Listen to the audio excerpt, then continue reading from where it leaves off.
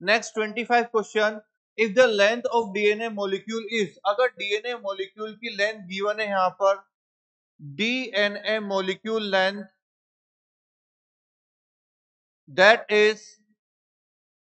1.1 metre अब हमें यहाँ पर फाइंड करने नंबर ऑफ़ बेस पेयर तो नंबर ऑफ़ डिस्टेंस कितनी होती है बेस पेयर के बीच में? That is point three four nanometre that is ten की पावर माइनस नाइन मीटर तो यहाँ से अगर हम बात करें एन की तो N number of base pair तो वो यहाँ पर निकल कर आएँगे 1.1 upon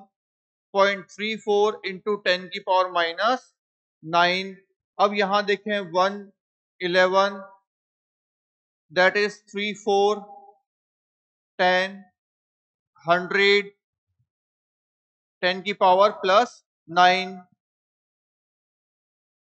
that is one one ten upon thirty four into ten की पावर नाइन तो ये नियरली निकल कर आएगा यहाँ पर three point three into ten की पावर नाइन बेस पेयर तो यहाँ पर जो नंबर होगा यहाँ पर, वो नंबर कितना निकल के आएगा? Nearly three point three into ten की पावर नाइन बेस पेयर तो यहाँ पर आंसर हो जाएगा बी